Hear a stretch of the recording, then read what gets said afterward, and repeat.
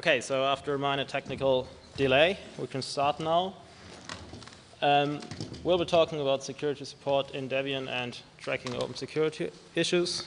Am I understandable, or I hope so. I am Moritz Mühlenhoff. This is Micah Anderson. Say a bit louder. Uh, yeah, okay. A general overview about um, security support in Debian. Um, these numbers are for uh, the year 2006. In 2006, we had 316 security updates issued by the Debian security team. Um, in 2007, it's slightly less, but this is mostly due to the fact that we've had some advisories where more issues uh, were combined into an advisory. For example, the recent PHP advisories fixed up to 12 vulnerabilities, while many of the issues fixed in 2006 affected um, only the packages distributed in a single update. Debian um, has a policy of backporting only security fixes, so to isolate the security fix and provide it along with an updated package. It's actually the only um, community distribution which does this consistently. Uh, Red Hat does, does the same, for example, for, the, for um, Red Hat Enterprise Linux. So does um, SUSE for SUSE Linux Enterprise Server. Um, most other community-based distributions like Gentoo um, normally have a policy of providing the latest upstream version and only backport patches in a few corner cases. We have had relatively few, few functional regressions in 2007. Um, we've had to issue seven advisories again because they broke behavior in one or the other way. In in 2006. In most cases, these were rather minor issues. Um, for example, the SMBFS regression only affected a fairly minor subset of the user base. Um, likewise for Mozilla, where, for example, the address book um, functionality of the Mozilla Suite browser was broken.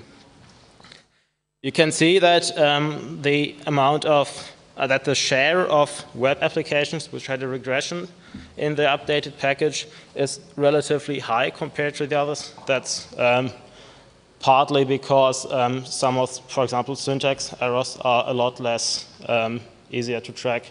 Um, if you have a ob an obvious um, syntax error in a compiled program, the compiler typically spots it. Uh, for example, in the case of Drupal, um, it was simply a missing semicolon, um, which wasn't really spotted during the tests we made before we issued the update. Debian is certainly one of the biggest distributions. Um, I took these numbers from a talk by Javier a few days ago. Etch has 282 million lines of code. Um, 100, 198 million of these are C and C++, so there's certainly some room for vulnerabilities. The current security team members, uh, in alphabetical order, are uh, Dann Frazier, Joey Schulze, Noah Meyerhans, Steve Kemp, and myself, plus Michael Stone, but he's mostly backup. You probably won't have seen any advisories from him during the last two years. We have, um, typically, if you send an email to either security at Debian.org or team at security.debian.org, you might either get a reply in very short notice, or it um, may quite uh, also be the case that we're too busy to answer right now. As we get quite a lot of email, um, feel free to, poke, to repoke us regularly. Um, we get quite a lot of mail, and we often do not have the time to check through old mail again. Or we only have time to do that when we have quite a large chunk of time available, like, for example, here during a DebConf. But other than that, feel free to pre-poke us regularly. We don't mind that. It's, um, yeah, it's, it's just the, we don't have much other time to do otherwise. We'll start with um, the typical um, kind of workflow uh, security problem goes through. And afterwards, uh, I'll raise some issues where Debian can improve, um, either on technical sides and either on procedural sides. Um, we'll start with um, the discovery of the security problem. Um, security information reaches us through many different information sources. In many cases, it's um, one of the maintainers notified by upstream. I think this is about um, one-fifth of all cases. I haven't made exact statistics about that. This is just my gut feeling in most cases. We also monitor, of course, all security relevant public mailing lists. Um, so the most important ones are certainly full disclosure and bugtraq. We also have, especially in comparison to other Linux distributions, a relatively high amount of security relevant bug reports from users. As Debian has a technically very competent user base, many of these are able to, to um, dissect, for example, a backtrace and spot security sensitive changes. Then there's a, um, a central coordination list called VendorSec, um, among which the security teams of many GNU Linux distributions and um, some older legacy Unix distributions, uh, Unix vendors, um, coordinate with each other. This amounts to, I guess, another fifth of all the information we receive. Then there's um, CERT, which is only used in rare cases. They often only notice us about an issue if it's already known to the public or through other sources. So that's not really that important. Another important um, source of information, especially for the relatively unimportant or fringe packages, are MITRE updates. Uh, Micah will talk about that later. There are basically two kinds of security information. Um, on the one hand side, there's publicly known information, for example, vendor announcements. In some, time, some cases, there's also um, the situation that someone discovers a vulnerability and puts a certain embargo on it so that we do have the information available but um, cannot update this fixed package until a certain um, disclosure date is reached. It's not that important as, may seem, as it may seem from first hand. Most of these issues um, are issues that come through VendorSec. Um, my gut feeling is that only up to 20% of all information which leads to a Debian security update is coming through one of the embargo channels. Once we've known um, about a security problem, typically the maintainer is notified. And if you have heard of a security um, problem, either from us or from a um, public, public source of information, um, be careful what to do with that information. Most of these vulnerability, web, vulnerability websites, for example, Secunia, do not put very much research in it. They find a new issue, open up um, an entry in their database, and then they typically only add um, advisories issued by vendors. So there's few research actually put into it. Be very careful with it, especially when trusting um, the affected versions. They often put um, affected version entries in it which do not match reality. Be careful with that, check the source for yourself. Also, do not trust security news sites or general news tickers. Most of them only um, copy the typical um, announcement information, paraphrase it a bit, and do typically not provide additional information. The only notable exception that I've put here down is Linux Weekly News. Their um, security updates are quite solid and you can really work with that. Likewise, do not trust the MITRE descriptions. Um, Micah will come to that as well. There are, there's uh, quite a lot of work involved in um, producing a security update. Um, it is very recommendable to support us by producing a security update. You can prepare patches, which helps things a lot because um, we um, do not need to work ourselves into a code base we don't know before.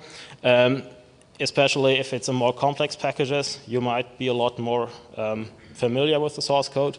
So preparing patches, sending to us for review helps things a lot. Um, it's also very helpful to test patches for us um, because in many um, setups, especially if they're a bit more complex, it's quite hard to do that. For example, imagine um, a complex Kerberos problem. Most of us do not have a Kerberos setup at home. Likewise for, um, for, for example, driver updates or complex software like voice over IP solutions. In many cases, we have to rely on the maintainer to test that for us. What you can also do is get in touch with upstream. In many cases, upstream should know best about the code base. Um, they should be the ones um, who can provide information, and typically the maintainer has a better relation um, to upstream than we do, so their mails are probably replied to earlier. And um, you might also be more familiar with the information flow inside um, the upstream project. Also, um, you can help us understand the vulnerability, um, especially if um, a software is more exotic or if it involves technology we don't have very precise information about, for example, Bluetooth, then it's quite helpful if you help us understand what the vulnerability is also quite about. We can research that information for ourselves, of course, but um, in general, the maintainer should be the should have the main expertise in these issues, so it's quite helpful to provide this to us. You can also check which suits of Debian actually affected. For example, if uh, a certain piece of vulnerable code isn't built in the Sarge version, for example, or if um, it's, or maybe if um, other surrounding factors help mitigate an issue. Yeah, I, I think I already mentioned the second point. Um, the more exotic an issue is, um, the more you're inclined to help. I've read many uh, things about team maintenance, praising it as being the silver bullet to Debian maintenance at large. Um, I cannot share this feeling for security problems.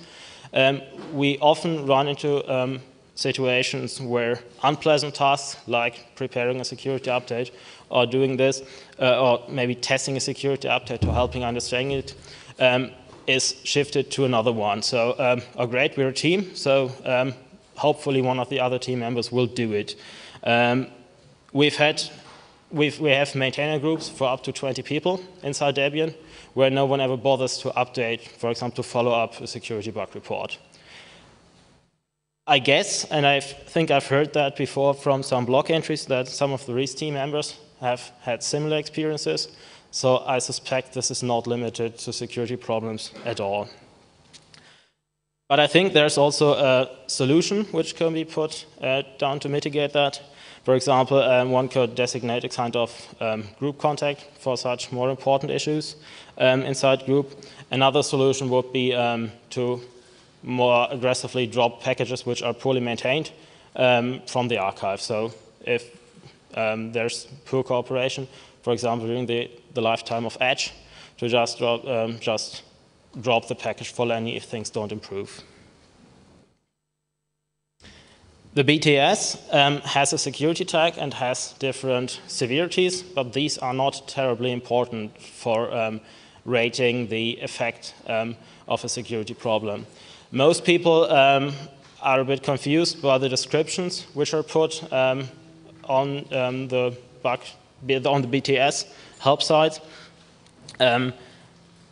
In generally, whether an issue has been filed with a grave severity or a an RC severity at all, um, does not change things for us very much as we still um, uh, try to understand these issues on our own and rate the severity differently.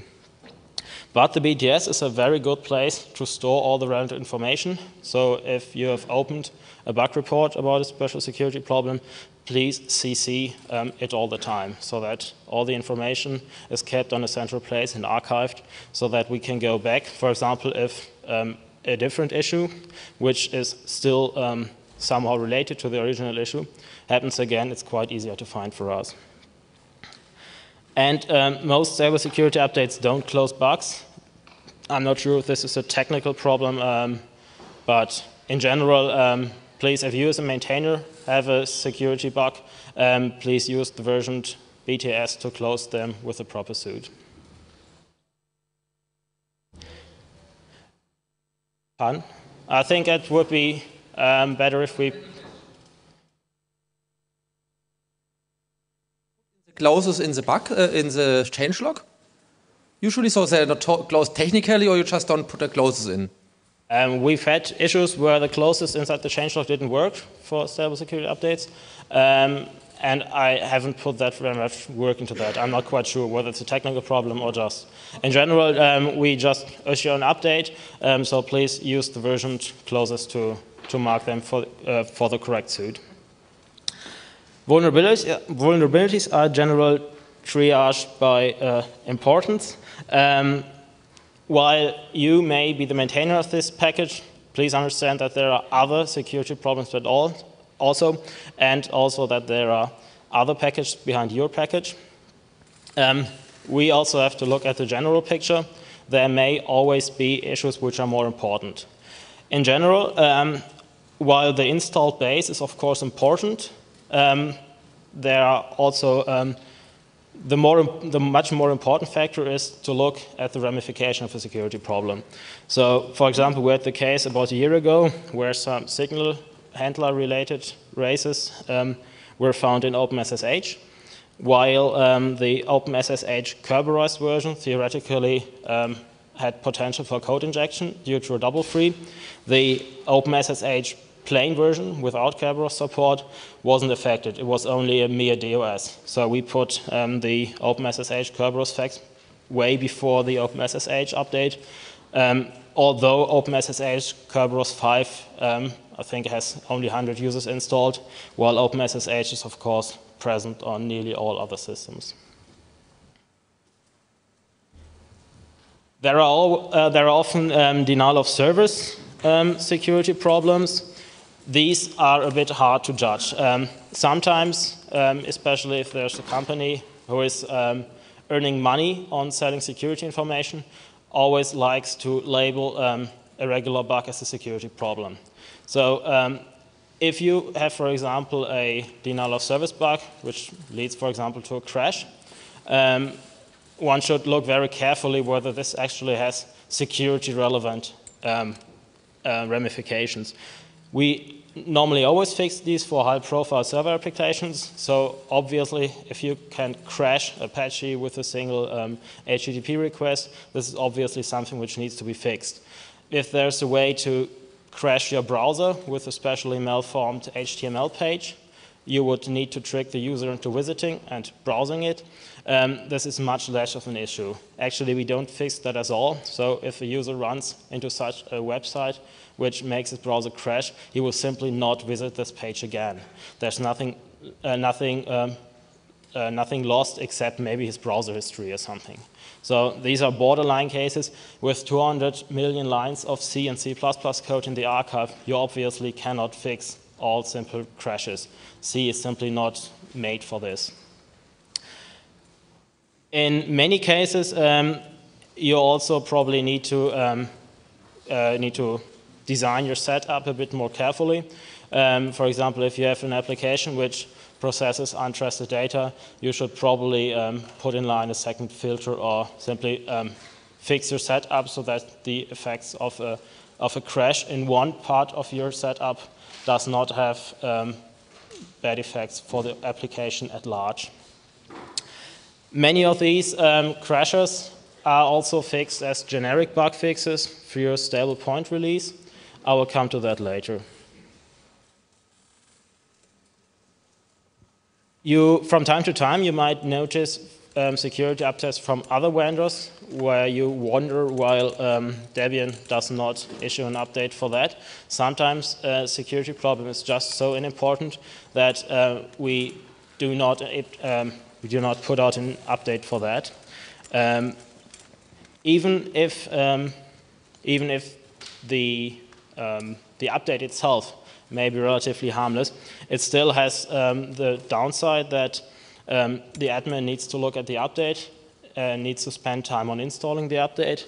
It takes away attention from other more serious issues. Because, for example, if you see an Apache vulnerability every week, while five of these may be very, very minor, um, you simply take away attention from the really serious one, which the admin may want to install immediately. Also, um, despite all testing and QA, you still have the inherent risk of, risk of regressions um, for each update. Um, so putting out a security advisory for something which is not really a security problem does not serve the users very well. For example, there have some, I searched out two examples. One vendor fixed a um, denial of service vulnerability in libpng for the part of syslinux which displays a boot up PNG logo. So if you have an attacker which is able to compromise um, the central boot directory where the PNG is placed, you have much worse problems than a DOS uh, in the in the code which displays the boot up logo. Likewise, some vendors fix buffer overflows in GDB, where um, running a binary in GDB may cause a buffer overflow in some ELF sections, which is actually not that much of a security problem because if you feed someone a malformed binary, you have much more easier ways to execute code if he just executes the, um, the binary inside GDB. Um, concerning um, updates and updates which are not issued, um, we'll now move on to non-free. In general, there's no security support for non-free, while um, the security FAQ implies that security updates may um, be issued if, if um, it's provided to the maintainers there haven't been very many cases of non-free DSAs in the last years. The main reason for that, um, I can only speak for myself in that regard, is um, that whenever, as long as there are open uh, security problems in free software, I'm unwilling to spend um, spend my, my spare time on non-free software. And I have the feeling that most other security team members do the same, do feel the same. So um, Currently, it's um, not, I, I, don't think it's a very um, good solution that we ship a lot of non-free and really risky non-free software in, the, in, our archive right now. For example, the Met, MadWifi drivers, um, I think they, they allowed um, code execution by scanning for a certain access point or by, by certain beacon frames.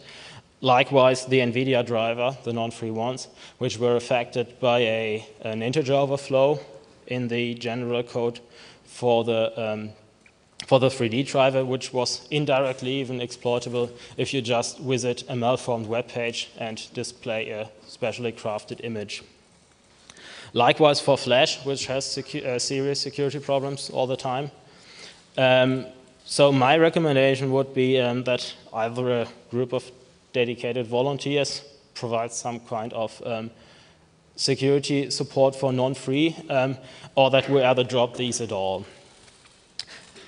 Providing security support for non-free has also massive um, handling problems. Um, Red Hat includes the Adobe Acrobat Reader in the Red Hat Enterprise Linux product, and Adobe decided to raise the dependency on libgtk from, lib, from uh, 2.2 to, to 4 during the lifetime of Red Hat Enterprise Linux 3. So they um, had to backport a complete version of GTK3, which is only used for Acrobat Reader inside Red Hat Enterprise Linux 3. So this is not something we really want to achieve, I guess. Many of these um, non-free uh, vulnerabilities are fixed in point updates eventually, but um, one should also point out that these point updates appear a lot less frequent in comparison to regular security updates. We also defer some minor issues uh, into point updates. Once we've finished with the discovery step of a security problem, we now move on to actually building the update. There's a separate security buildd network. Once the uh, updated package is uploaded to the security host. All the other portables are handled in the security buildd network. If you help us with preparing a package, please do not upload to Klecker directly because um, if there's something broken with the package or we need to fix something, the um, the process of revoking a build is quite difficult. So we normally would have to raise the version number by another time by another version uh, increment. So please don't do that. Please send us a debdiff. We'll look at it, and if it's all right, we'll tell you to upload. Once the builds have been uh, built in the security building network, they are signed by the security team members and um, it to the security host. That's actually one of the reasons uh, for certain drawbacks. If you notice a um, DSA which lacks one or two architectures. This is typically due to um, problems with the build host. The problem is that um, most of these build issues cannot be fixed by ourselves, and about two-thirds of all security builds are run by two persons, which are typically very busy. So um, it always takes a bit of time and prodding to get the build chroot fixed. So this is a kind of inherent release, uh, inherent um, problem to release all archives in all architectures in sync when a security update is released. But it does not happen very often, so it's not, not much of a problem, but a bit more redundancy would certainly be nice. Then we can have a look at the build times. Um, we can see here, this is from an older build, I think it's a year ago. Um, it was for KDE base.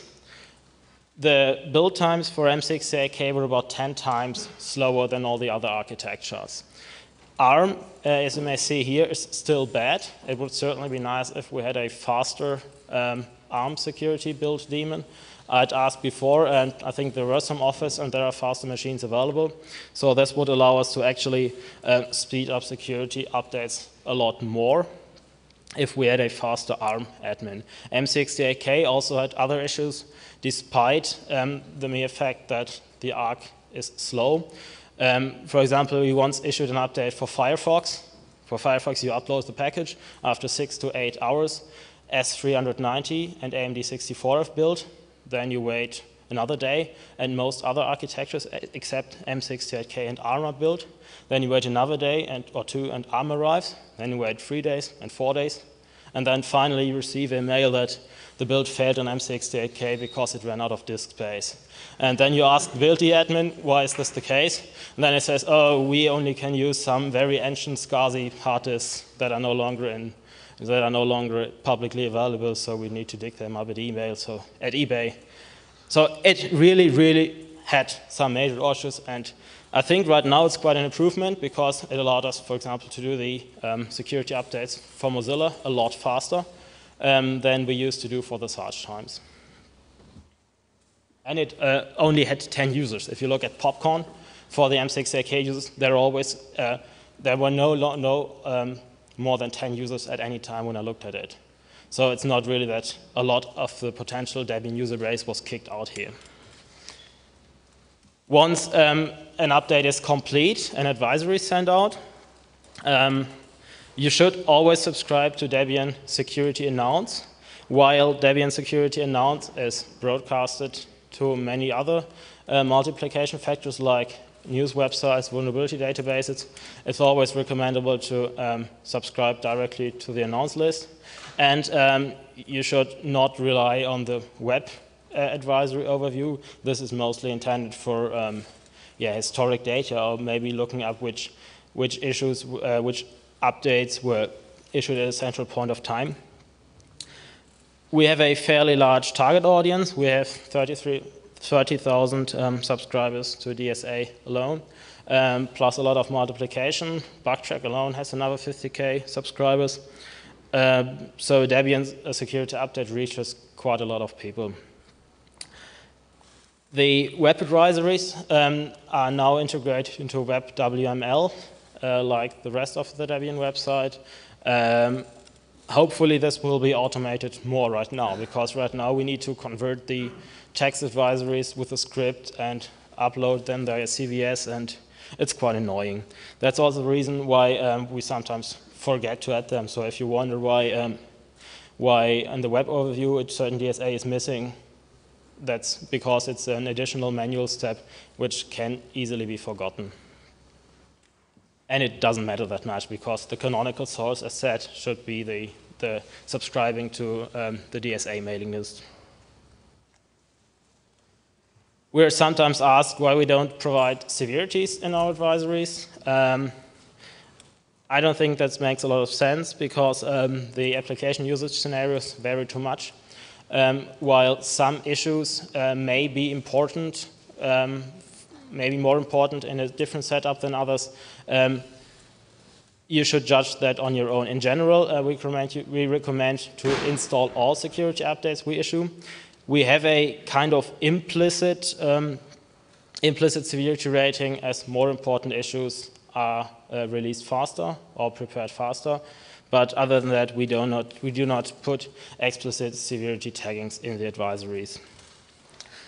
often you may also have uh, local effects which mitigate the uh, effects of a security problem. For example, the recent uh, Samba vulnerabilities were not much of an issue for many people because the um, because it only affected untrusted users, while um, this is typically not um, the case for a local LAN where Samba typically operates.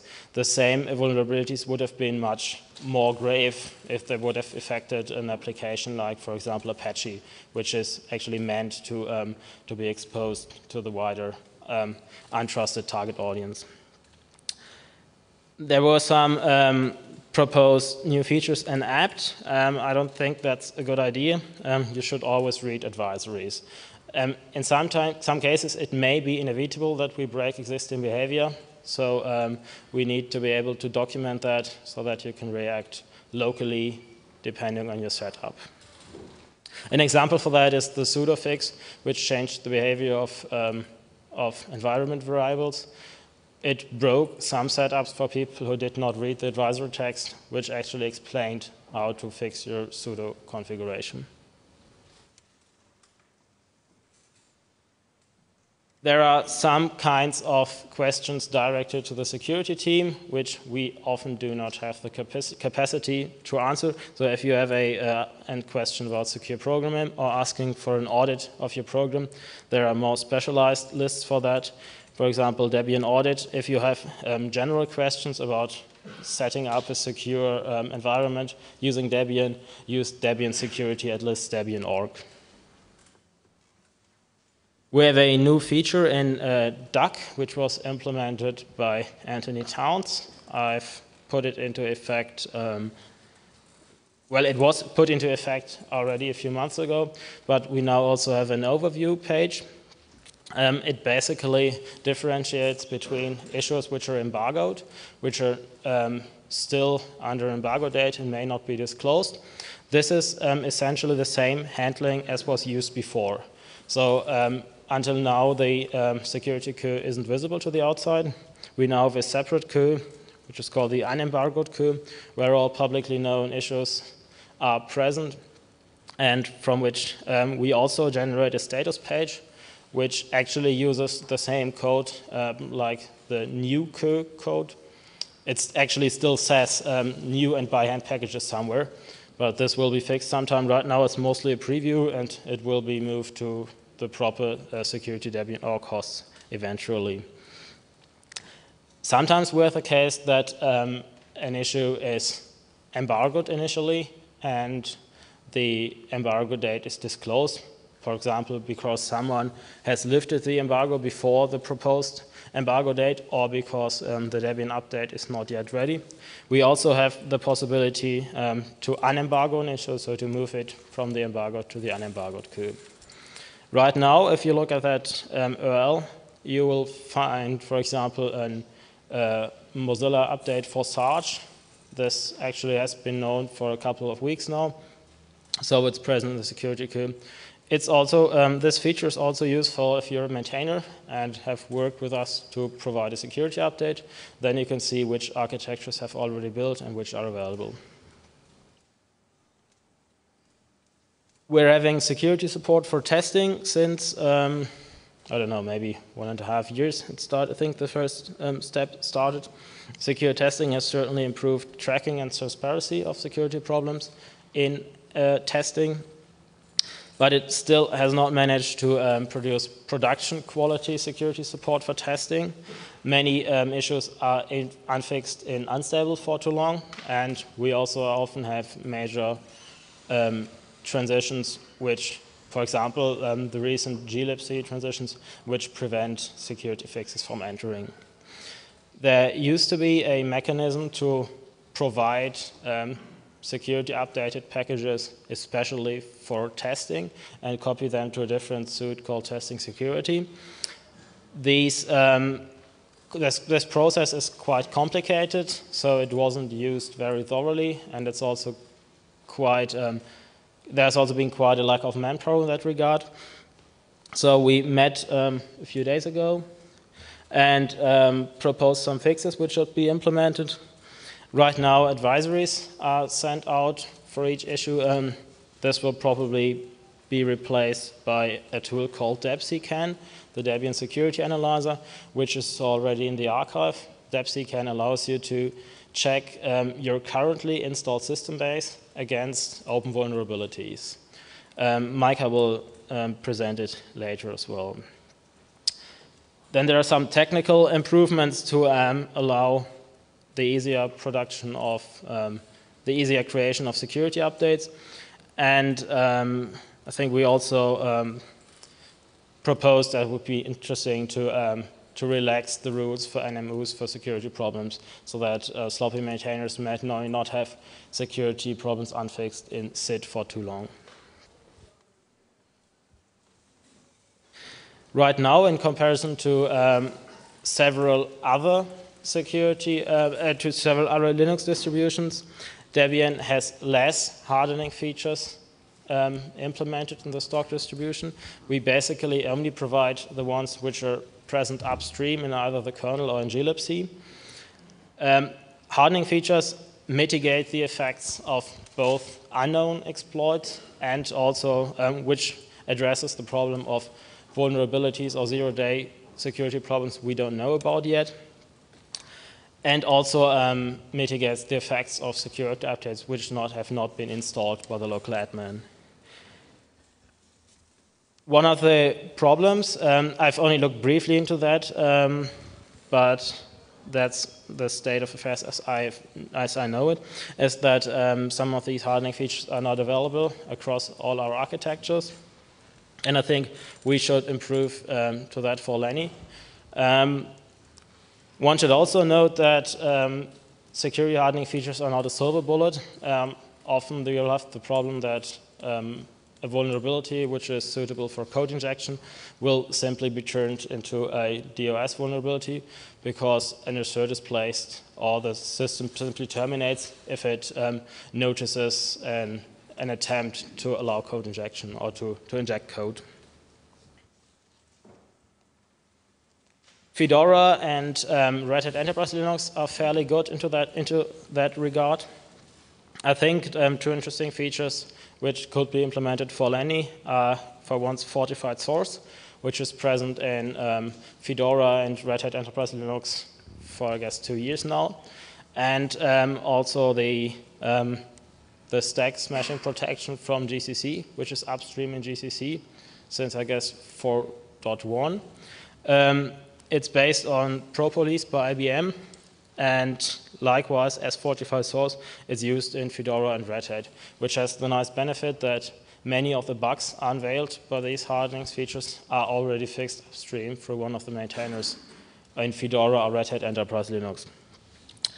But one should also know that um, the security problem, the, the, security team will not have the resources to manage that all by their own. So this would need an interested group of uh, volunteers who coordinate things and who are interested in coordinating with maintainers, checking that the necessary features are applied, and also look into uh, eventual bugs that arise from these problems, uh, from these features. I think we also need um, properly maintained errata. Many other Linux distributions have that. So um, currently we only have errata um, inside the installation manual. Um, we document known bugs with the installer, but we do not uh, properly maintain a errata for all the problems which are discovered during the lifetime of a stable release. This is not only um, useful for security bugs, but also for um, general bugs affecting users as well, which cannot be fixed uh, in a stable point release. We could, for example, uh, use this security-wise to document um, software which is so broken that you can no longer use it at all, or uh, maybe document cryptographic advances, or document new, uh, newly arrived weaknesses. This um, would need a maintainer. I think uh, there was a proposal to do this in a wiki, but the wiki, I think a wiki has quite some problems with that. I think the best way would um, be to have a volunteer who can be CC'd. So if there's a discussion through email, um, that something needs to be added during the errata and that this person can simply be CC'd, or maybe a whole maintainer group maintaining these errata. But I think that's really an interesting point because it allows us to, um, to document all shortcomings we cannot fix. There's also some infrastructure improvements that would be um, quite desirable.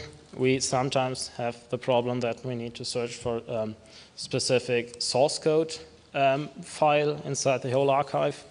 Right now, um, packages Debian org only allows you to search for the contents of binary packages. It does not allow the same for source packages. That would be really cool.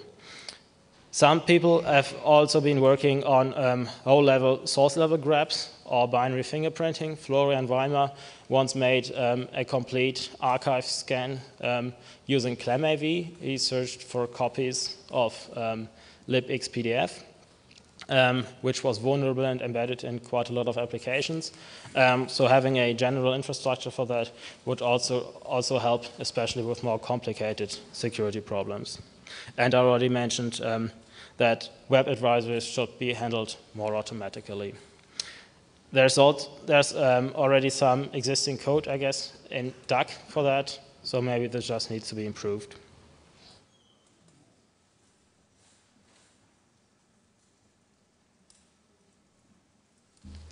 Another problem um, which is giving us headaches since some time is the archive growth.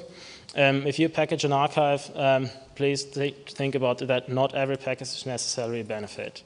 We're about, we're about at about 15,000 packages right now, and if the current growth rate, growth rate persists like it is right now, um, we'll run into much more severe problems. Especially um, be careful if you load image software. If you upload um, some network-related code or web applications, um, be very careful um, if you upload pre-releases or test versions, you know to be buggy, especially if it's um, just a few months ahead to the next stable release.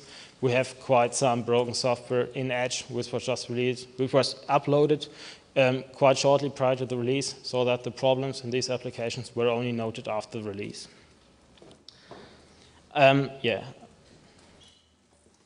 Some examples. Um, if you search for minimal with apt-cache, you will find hundreds of services which implement a well-known network service in a minimal way, which is known to be secure and um, with a low, food, low memory footprint. Um, we typically, if you, if you want to package the 18th HTTPD, which is a minimal HTTPD, uh, you should think whether it's actually a benefit. It's not only um, because of the added uh, added overhead for maintaining all these packages, but it's also quite difficult for an administrator, for an administrator to make an informed call which of these 17 HTTPDs is actually good. Because um, if he doesn't know, he would actually need to test all 17. So it's much, uh, I think it's uh, much more reasonable to limit the choice in some fields of application inside Debian. Of course, we are the greatest distributions, but um, sometimes we also need to limit ourselves because otherwise things get out of hand. Another problem with fringe packages is that they don't receive very much um, review. They are typically written by one author. Um, no one else looks at them. If it has only five users, it's quite unlikely that one of these five users is doing a security review of this package. Um, likewise, they will probably not be noted by security researchers. So um, that's another reason to be careful. Be extra careful with network-related code. This is actually um, related to the 17th minimal HTTPD I've been mentioning. You may think that um, some software is just secure, but even Ed, the classical editor, had a security problem. Um, it was a temp race, which would potentially allow overwriting others, overwriting other files of the user. So um, in general, every package may have a security problem eventually, although it's of course more likely for web applications and network-related code. Another problem is um, that many maintainers only uh, focus on their specific pack pack pet package. Um, they might need, uh, they might um, have a short time interest in that package because it looks cool, then their package lose interest after half a year, and then it's still stuck in the archive, and we need to support it for at least 30 months. So if you select a package, um, please think of that the resources to fix security problems are not endless. Um, each advisory takes at least two hours of work. For more complicated advisories, like for example the, recent PHP updates, it can cost up to 20 hours of work. So be extra careful. Um, if you want to have a package in the archive and want to have it properly, properly maintained, this also creates some work for others. Also make sure um, that a package is supportable for 30 months. We have release cycles, we have estimated release cycles of one and a half years. Once a release has um, been released, it receives another year of old stable security support, so it would have to go with at least two and a half years of security support. If your application is so volatile that upstream um, doesn't care even after two months, or that they only recommend to package the latest version, it might not be a suitable candidate for a stable release. There's a separate BOF um, on the supportability of 15,000 packages. Um, last time I checked in Penta, it was um, Thursday at a quarter to 10 in the lower BOF room. So if you're interested in that topic, um, you should probably attend that. The positive side is that review um, of maintainers at large sometimes work in, uh, sometimes works. We once had a, a CGI script in the archive for which allowed web-based password changes.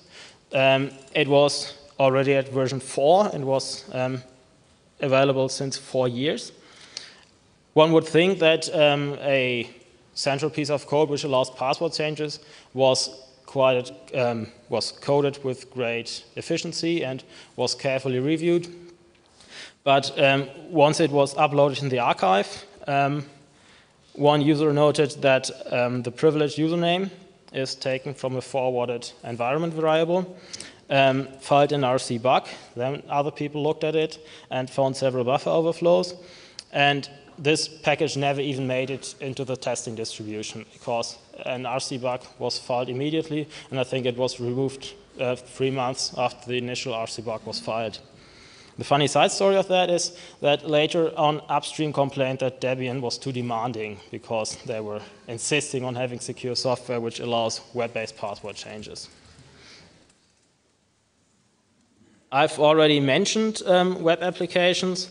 Web applications are in comparison to um, traditional compiled code a lot more volatile. They also have less dependencies because they're typically run inside a, a HTTP environment and are not necessarily tightly coupled to system libraries. They often have the problem that new attack schemes uh, require rewrites of the whole code base um, to focus on new attack schemes. It's not as simple as many traditional vulnerabilities where you just need to um, impose additional sanity checkings or boundary checks. Upstream is um, often less experienced, so we have a um, often have um, upstreams who cannot really dissect a secure problem on their own, and the upstream fix can be less trusted. And it's also notable that um, many of these web applications are also um, packaged by, by, maintainers who are less experienced, uh, notably often by people who are fresh from the NMQ. So be careful um, when sponsoring a web application and make sure that you're able to, um, to fix up eventual problems which arise from the fact that that such a package was uploaded. There are about um, 10 to 20 web applications in the archive which have a really disproportionate share of security problems. Uh, Micah will note that again later as well. Um, with web applications, we always also have the problem that they, most of them do not release patches for security problems, but just complete new upstream versions. So we have to dissect the whole um, new up, the whole interdiff and check um, which security fix uh, was done inside the whole release.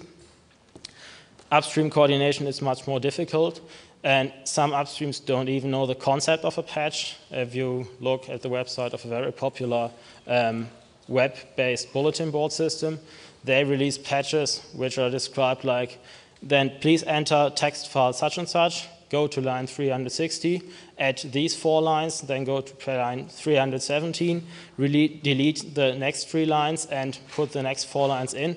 So if you have an upstream which does not even know what a patch is, then it's quite unlikely that they are able to release quality patches for that. So we certainly have a quality problem here. Another problem is that um, few other distributions uh, package that many web applications. Several of these web applications are only present in Debian, except from sometimes Gentoo, which only um, release the next new upstream version anyway. So coordination with other vendors and patch sharing is also quite difficult. I think um, the proper fix would be for about 10 to 20 of these packages, which are really um, causing a lot of work, um, to move them to volatile instead, because that pretty much matches their usage pattern. Even uh, most of the maintainers uh, maintaining such software um, often tell us that they're using the SID version anyway. So um, it's also quite difficult to get the maintainers to properly act together and in preparing a, a fixed update. With many web applications, um, there's also the phenomenon that the phenomenon that um, many of these may very well be limited um, to an authenticated HTTP zone.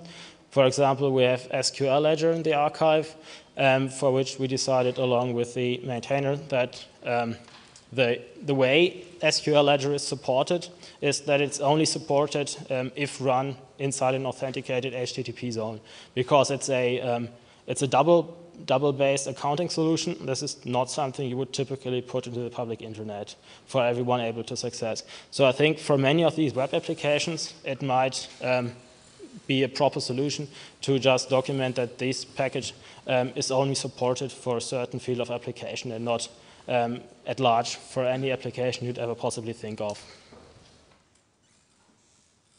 Now I'll um, talk about um, three notable packages um, which are um, a bit different from the typical packages which cause security problems.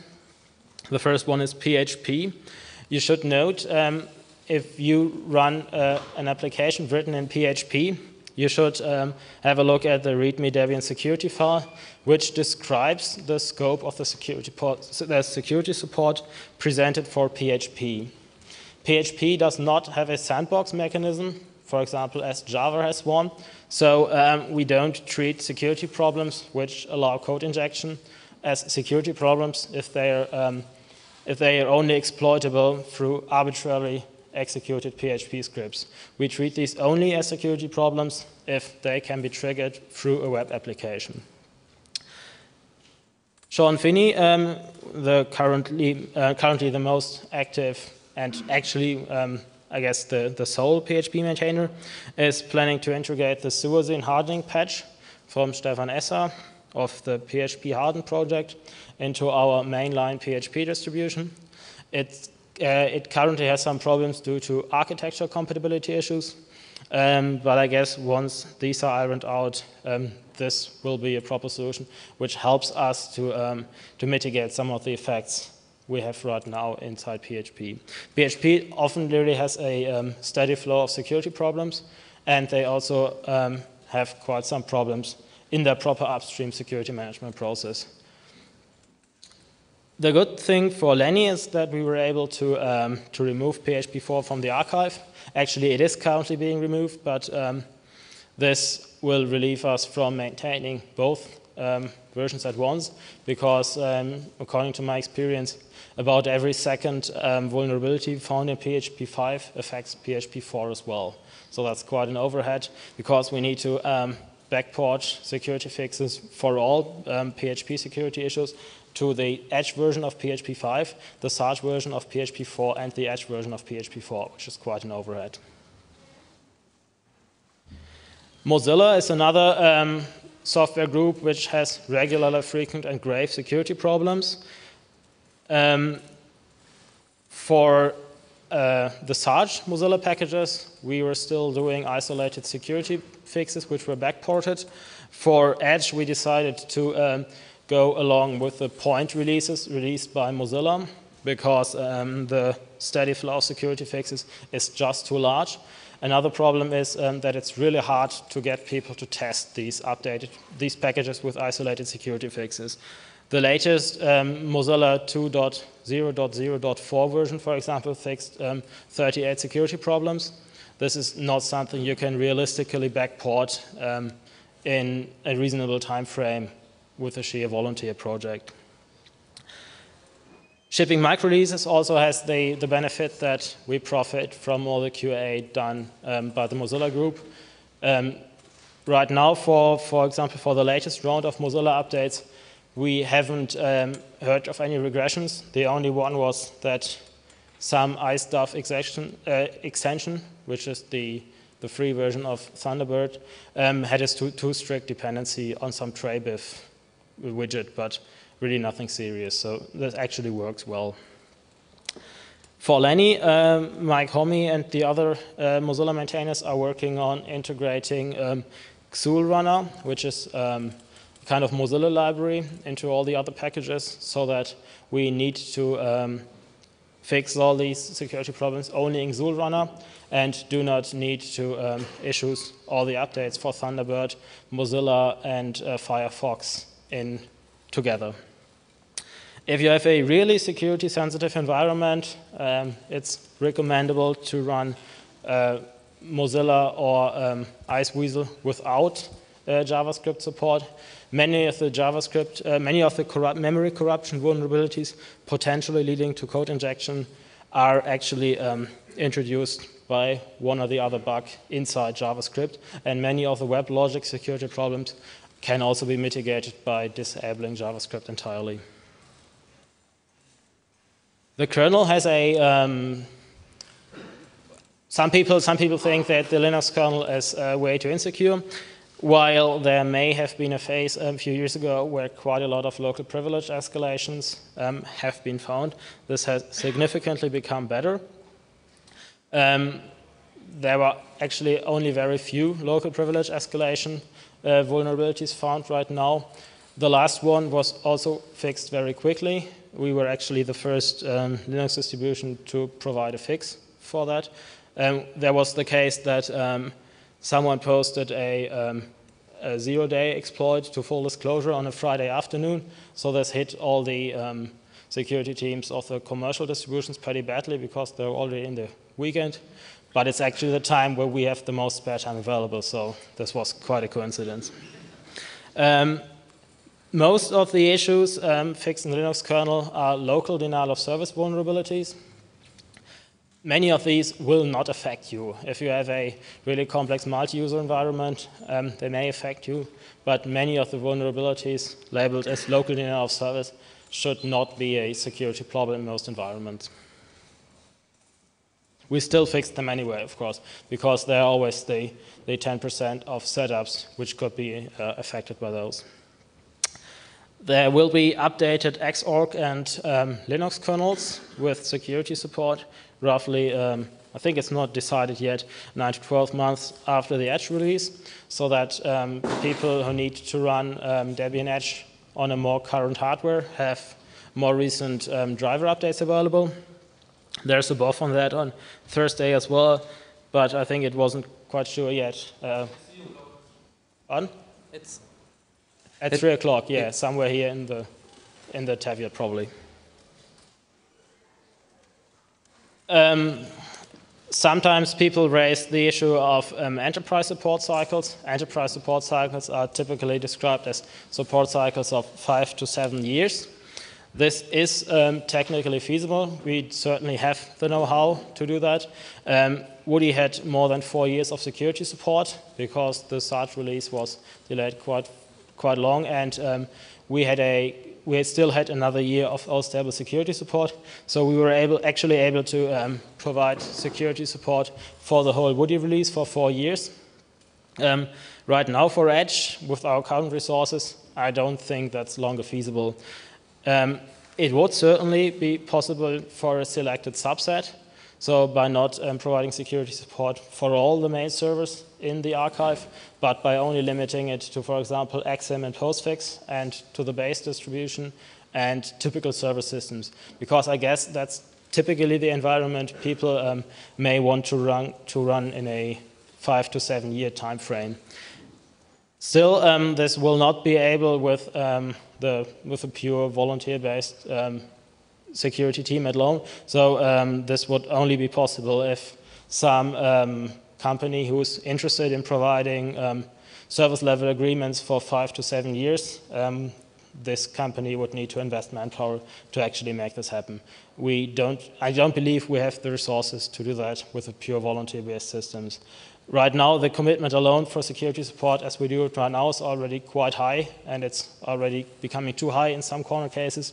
So um, this could only be done in cooperation with an external entity.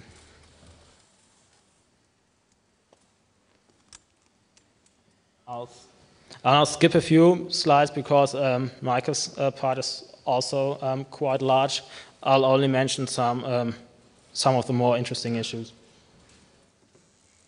There are quite some non-Linux ports in preparation, um, notably the HURD, um, the kFreeBSD ports, and the Solaris-based ports.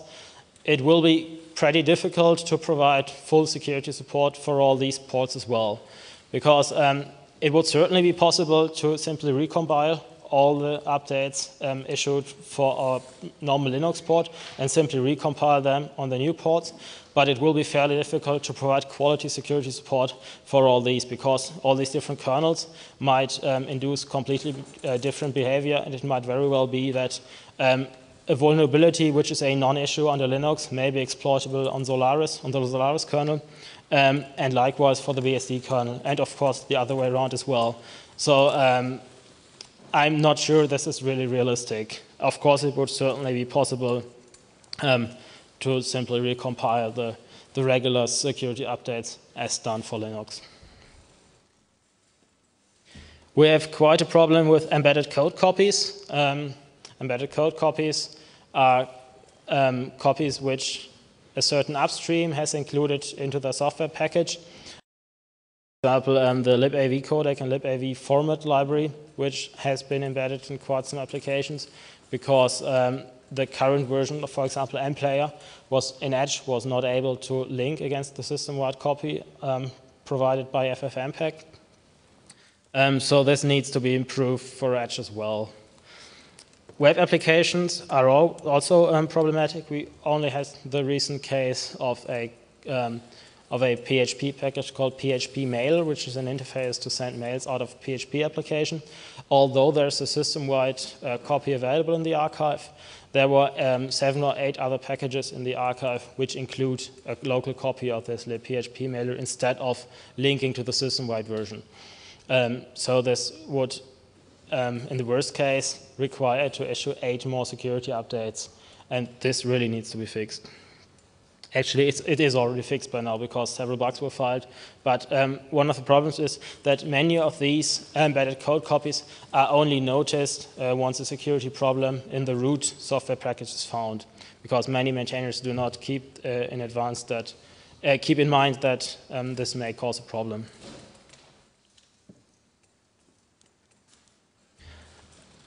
I think there could be better cooperation with people providing um, custom Debian distributions or derived distributions. Um, of course, this cannot be a one-way relationship.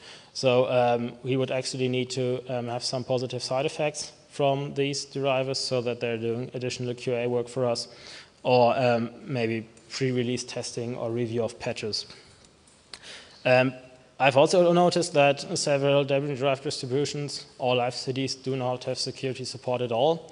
Um, it might be that um, the overhead for providing security support on your own is just too, too difficult and just too error prone. So if we provide a better service for these, um, these Debian-derived distributions which currently do not have security support in place, this will also benefit users at large. Then I'll um, close with some best practices. Um, we sometimes have problem with obscure patch systems. If you insist on using a patch system, um, please either use a standard one like dpatch, uh, CDBS, or Quilt, or if you still insist on building your own handcrafted patch system, at least make it fail badly or make the whole terminate the whole build if one of the patch cannot be applied, and um, please document properly how your uh, how your um, package should be NMU'd. Um, there have been one or two cases where we actually um, only noticed a few days after release that a certain patch could not be replied. In, for vulnerabilities where we do not have a reproducer available, uh, which cannot be properly tested and only be fixed by source code study, this is really difficult problem. So please be careful with obscure patch systems. Then we have a final help wanted session.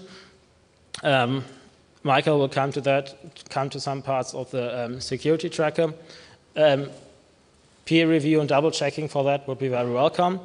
Um, the PHP and um, MySQL maintainers also need a dedicated volunteer who's willing to support maintenance of these packages and especially helping with security problems. And you can also always um, follow up on open, on open security bugs in the BTS. Most of them are always tagged with the tag security. Um, so if you have time available, check open bugs, provide additional information, and see whether you, whether, whether you can reproduce them or which uh, suits they affect. Uh, now I'll hand on to Micah. He will talk about um, the Debian security tracker and um, the way we track um, security relevant information inside Debian. Um,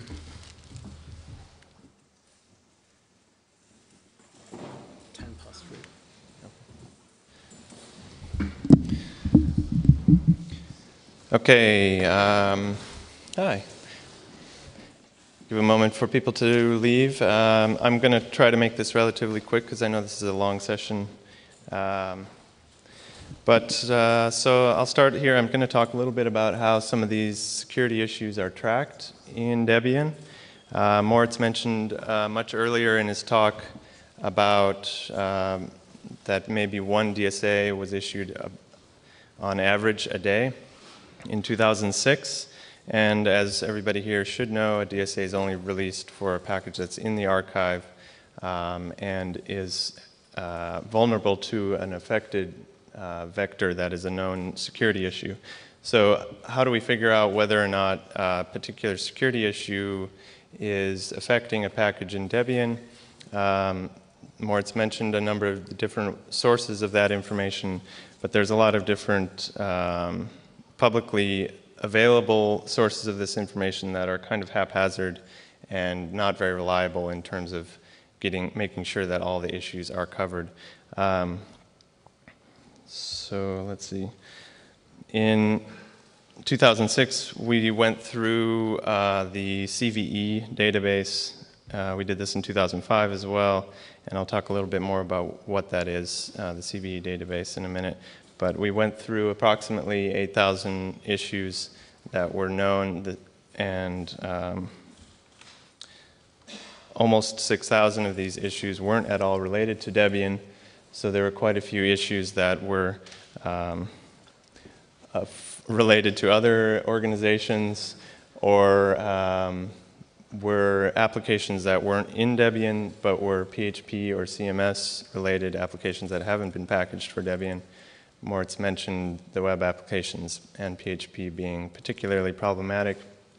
Um, these numbers are kind of rough. They're based on the name of the program itself. So only the programs that had the word PHP or CMS in their name, which is actually quite common for PHP applications, were counted here. So there was quite a few more. Um, Cisco, we're not particularly interested in, don't apply to Debian, and Oracle as well. But you can see that uh, there are quite a few issues that aren't accounted for here. Um, but once we go through all of these and det determine what actually is as associated with the Debian package, we can see that there are still almost 1,500 issues that affect actual packages that are in the Debian archive. Um, and you can see this is about almost pi in how many per day that we have to deal with here. So how do we do this? Um, I'm not sure why this is kind of pausing like this, but so we have this security bug tracker. Um, in some ways, it's like the BTS, but it's going through public, uh, publicly uh, released issues from MITRE and determining whether or not these are associated with particular Debian packages. Um, there's a web page here. I don't know if I can click on it to show you but I'll try. Um, oh, you don't have Wi-Fi. Okay, well, you can load this at home. uh, the page basically uh, processes our data, and we'll talk a little bit more about the data here in a moment, uh, and automatically generates reports for the different suites, uh, so you can look and see that what issues currently are affecting stable, unstable testing, and old stable, um, as well as being able to drill down to the individual packages and see what uh, issues are affecting the individual packages and what versions of those packages that issue affects. Um, so this information is called from various data sources, but primarily uh, the issues are coming from the CVE database um, and then being cross-referenced with the DSAs that have been released by the security team. Uh, and additional information that security team enters or is brought in from uh, various mailing lists, known issues. Usually these issues end up getting a CVE assigned to them at some point, and also issues that are uh, discovered in Debian packages and reported to BTS in some sort or another. So how does this work? It's basically fairly simple. There's some uh, four fundamental guiding principles for how this tracker works, and they, I'll go through these here really quick. Um, this tracker is not, uh, people seem to think that the tracker is a, a way to keep track of what uh, packages are being worked on by the security team to provide an update, but and who is working on that, that's not what this tracker is. It's primarily to uh, keep track of vulnerabilities and weed out the vulnerabilities that are not ours, and then identify those that are associated with particular packages and the versions that those packages are affected. So the simplicity here is that there's a subversion repository on Alioth. This is public. You can check it out. And it's essentially a plain text file that you can edit with your favorite editor and then com commit back to Subversion. And that's it. Um, it's very simple. There's no web um, front end that requires authentication and ticketing and all this kind of prioritization um, that ends up driving you insane. So this is essentially designed to be incredibly easy to do short amounts of uh, work without having to deal with a frustrating overhead interface. Um, the data that is in this list is, comes from the MITRE database, which provides CVEs, formerly known as CAN entries. Uh, these are numbers that are unique, um, uniquely assigned to issues uh, after they have been submitted to MITRE. These come from a lot of different databases and from a community-wide effort to identify issues that are in various software packages. Like I mentioned earlier, Microsoft, Mac OS, everything is included in this. Um, and they bring a lot of this stuff from uh, mailing lists, you know, security mailing lists, Bugtraq, Secunia web, websites, and there are various members in the security community on this editorial board that uh, weed out uh, issues that are not relevant, although um, there are a number of issues that are not relevant that make it through still. So this is freely available from this website, and um, it's run by MITRE, which is a U.S. Uh, organization that runs um, computing research facilities for the Department of Defense, the Federal Aviation, Aviation Association, the IRS, and um, it is funded by the uh, United States Department of Homeland Security. Uh, they're the ones responsible for the Technicolor fear levels that you'll get at the airport. Currently, we're at orange. Uh, are you afraid? So uh, CVE is basically, uh, this is kind of strange. They're basically unique numbers, as I mentioned before, for known issues, and they're uh, when they're first put into this database, they're considered candidates only. Uh, and then after they have been confirmed, they're turned into uh, accepted entries. Although this is kind of a wishy-washy process, there's a lot of the entries that maintain candidate status for pretty much forever.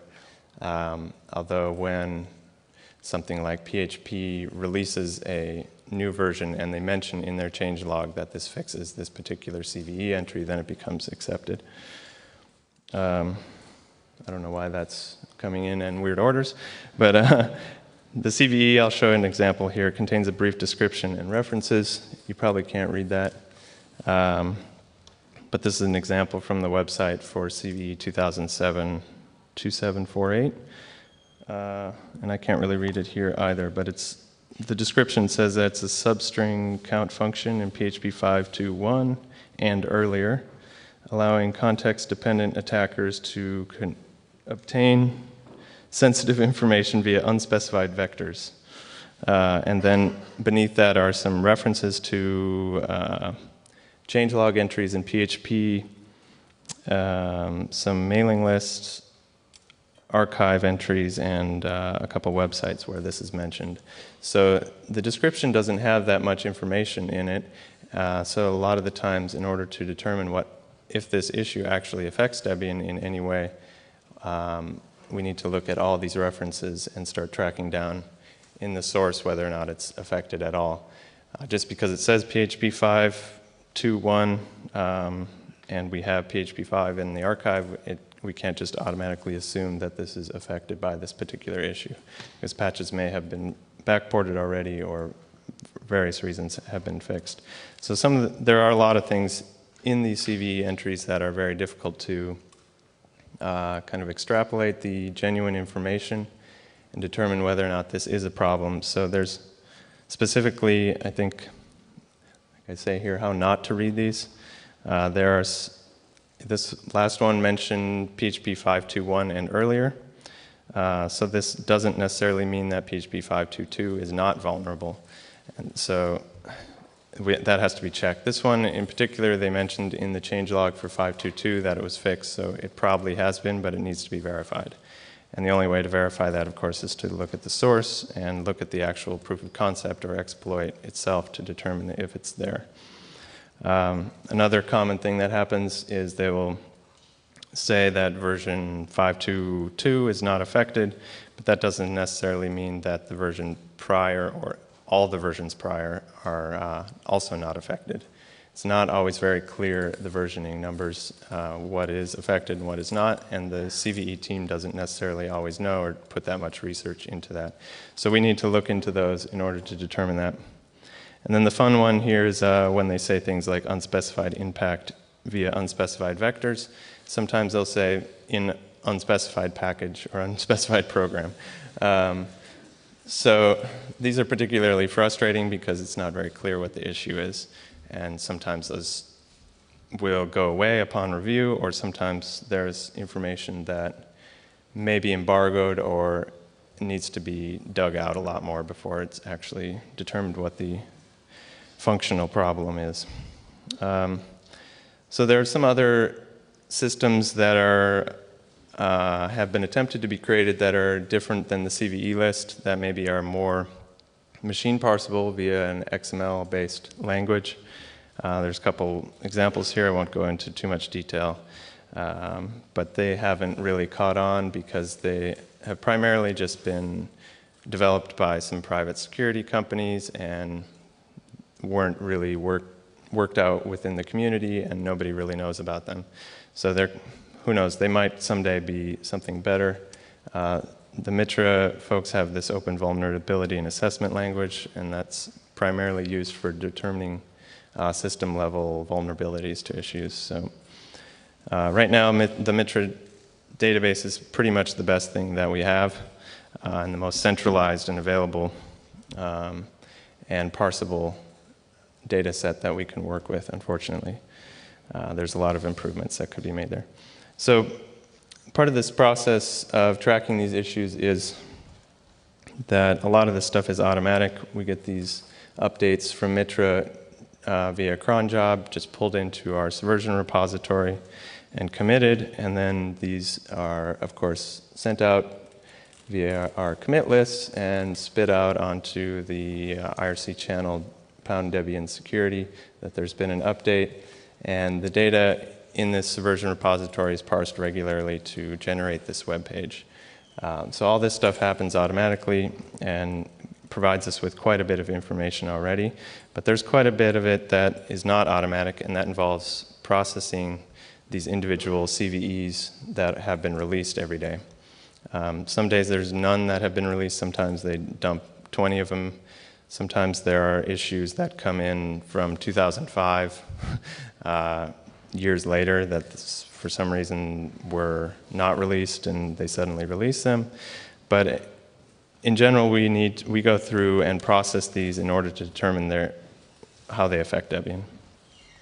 So the entries in this file, uh, each one of the CVE IDs have a to-do line that says check, and we go through and look at it, the particular CVE, and try looking at the references to try to figure out uh, if this affects Debian, and enter that information into the tracker committed into the Subversion repository, and then the tracking information on the web gets updated so that it has something useful.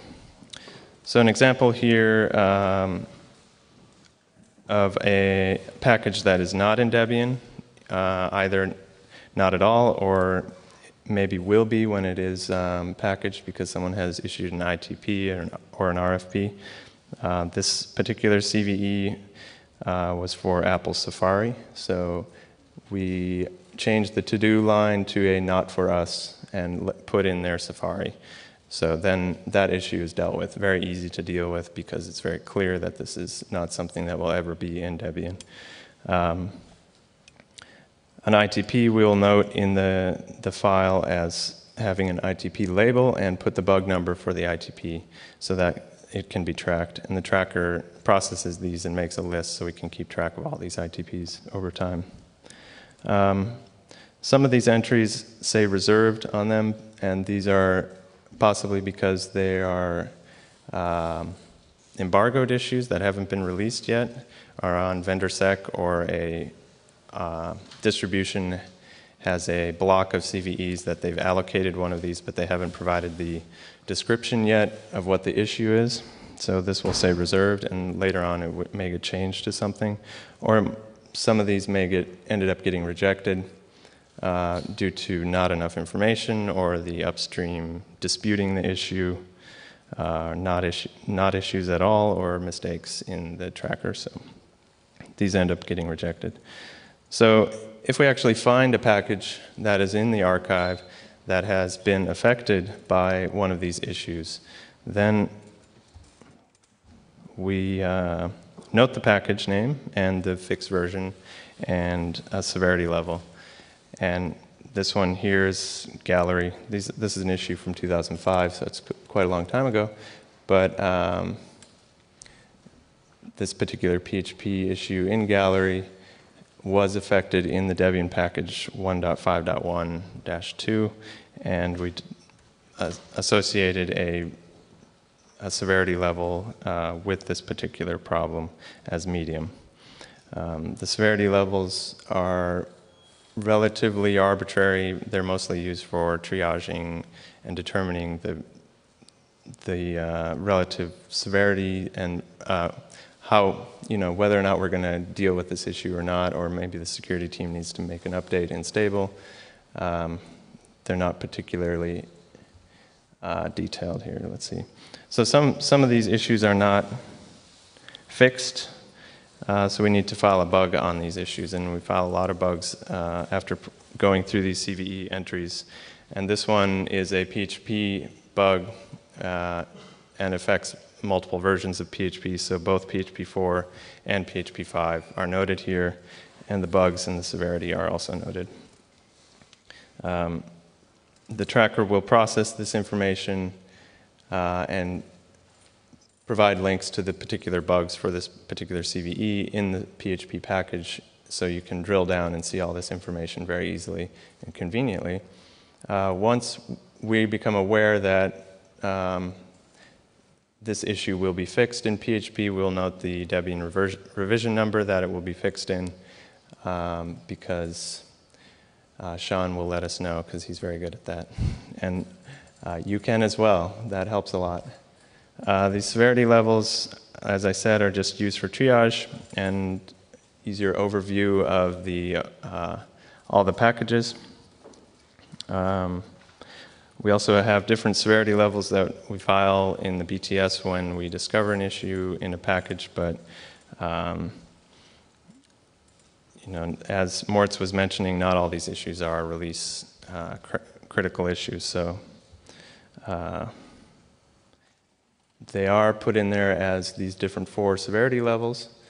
And um, if people are interested in how we determine what these severities, severity levels are, or whether a package meets a high criteria, we can talk about that later.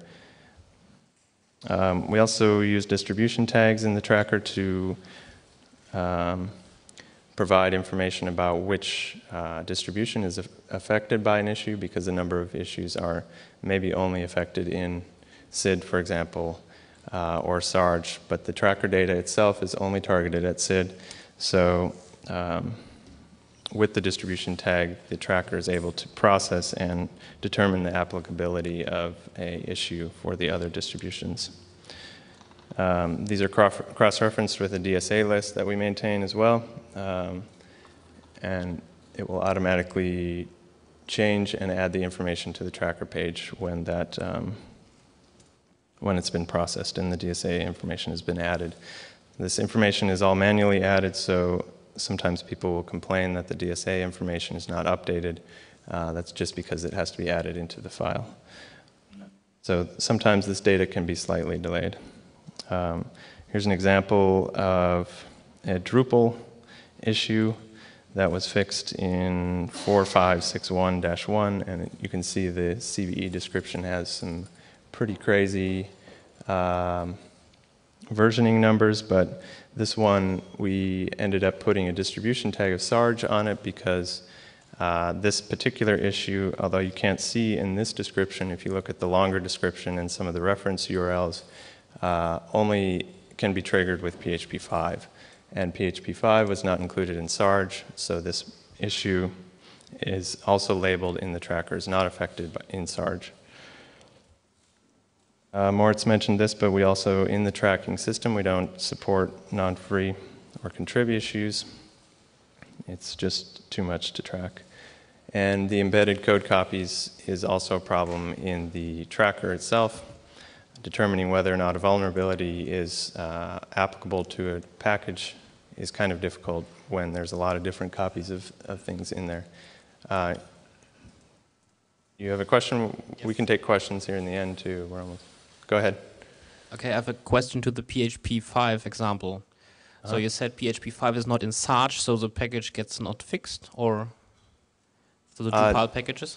If I can go back here, I'll, I'll show you that it's just noted that this package Drupal is not uh, it's not affected in Sarge, but it's also noted right above it that Drupal version 456-1 was uploaded into SID. So this version fixed this issue in SID and then it propagated to testing. But it's not fixed in Sarge. So if anyone yeah. has um, Dotdeb PHP 5 packages, own fault. Right. We, we can't support people installing packages that aren't supported by Debian. So if you install a backported PHP 5 from dotdeb.org or whatever, it's not something that we can track. It's just too much information as it is. um, yeah, so these are particularly problematic. I'd call them evil. Um, we have a list in our Subversion repository of the packages that we know that embed code copies and what those code copies are. Uh, we don't know all of them because we only end up uh, finding them once we have actual vulnerability that tend, has something like the libxpdf uh, library embedded in it, and then we start discovering that that's embedded in a number of different packages. So then we note this in our file so that next time there's a problem with libxpdf, we make sure we check all these various packages. Um, this is a, really a problem and very annoying. So um, it, it's a, something that we've maybe thinking about uh, making a uh, release criteria for Lenny is getting rid of embedded code copies. Uh, there are a lot of issues where embedded code copies are legitimate, so there has to be exceptions, and these have to be kind of detailed before that makes any sense. Um, I believe we've submitted a bug to the policy um, documentation about this issue because this is a significant problem for the tracker as well as for maintaining the security packages and doing updates. Um, if you don't believe me, try finding all of these in the archive and which packages they are. It's not very fun and it's not very easy. and once you do find them, it, you have to go through every package to determine whether or not it's vulnerable to the issue. If any one of these TinyMCE JavaScript library or whatever is uh, affected by a vulnerability.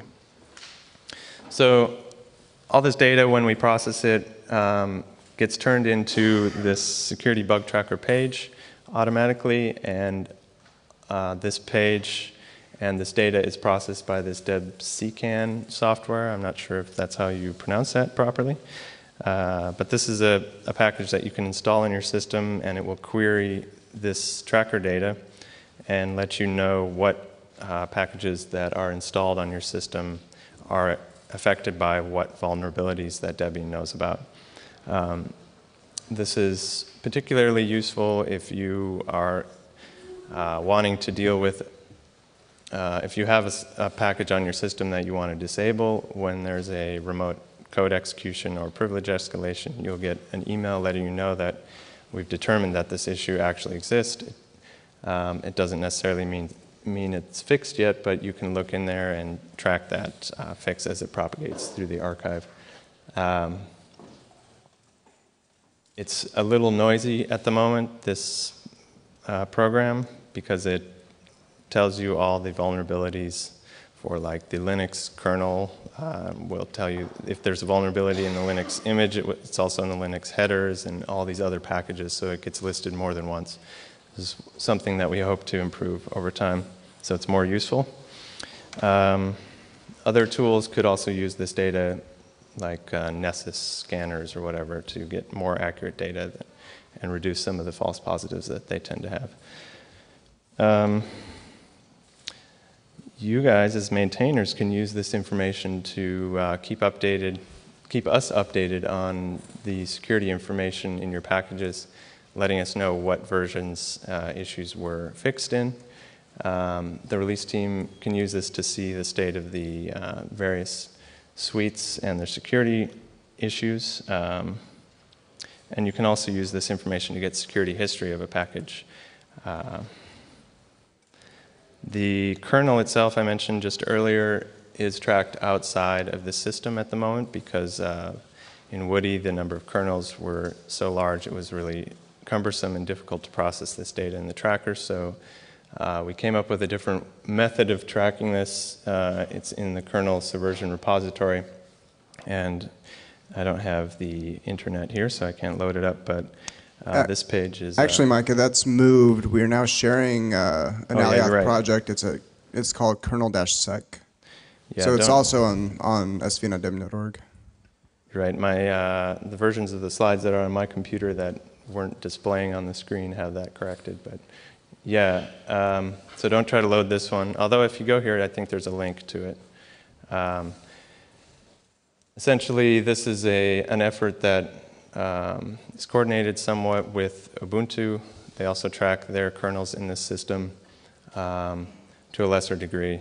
But uh, Moritz and Dann uh, fill out each CVE and whether or not it's affecting different kernel versions that we have in the different suites, um, whether it's in old stable, stable, testing, unstable, uh, whether, whether there's a patch that is available or has been applied to the kernel uh, in the subversion repository and with the kernel team or not, or if this issue hasn't even been checked at all. Uh, it's a good overview page uh, to get a good idea of where things are at. Um, so here's some pretty statistics. Everybody likes statistics. Um, these are thanks to Stefan here. Uh, in kind of in general here, you can see that in 2005 and 2006, um, there were 15 to 22,000 issues. Um, that were in this database, uh, 7,000 more uh, in 2006. Uh, there are a bunch of issues in here that don't have CVE entries that we end up adding or requesting at a later date.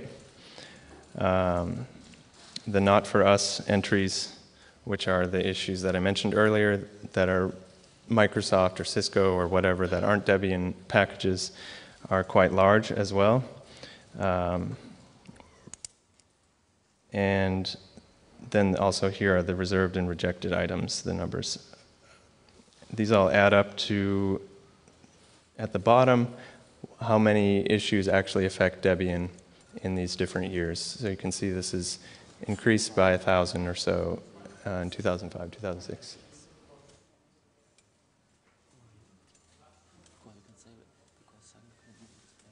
Oh, right. This is incorrectly. Uh, the header's not correct down there, yeah. The, the third column is actually the 2006 numbers.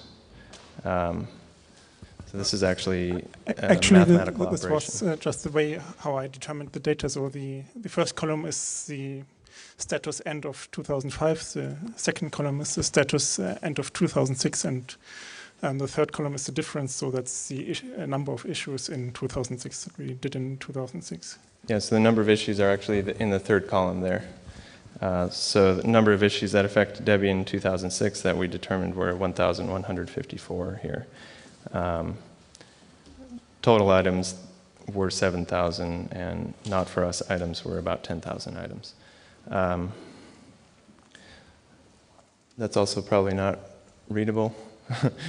uh, but this was a this is a graph that a user on the mailing list submitted, uh, graphing over time the number of uh, security holes in the various uh, distributions.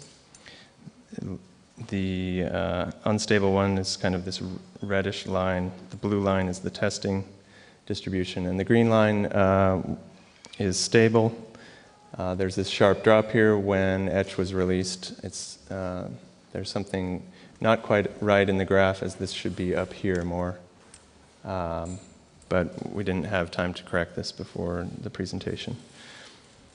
Um, so the last thing in the, I mentioned we had these guiding principles involved in the tracking these security issues, and the last one, as maybe the most important one, and people tend to have the most problems with, is this issue of transparency.